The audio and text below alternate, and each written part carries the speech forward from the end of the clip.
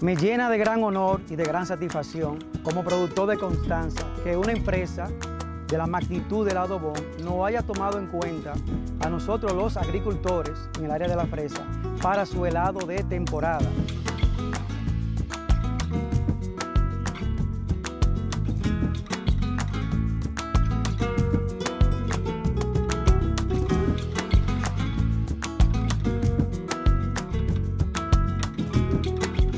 Demostrándonos así que verdaderamente el Adosbón está enamorado de nosotros.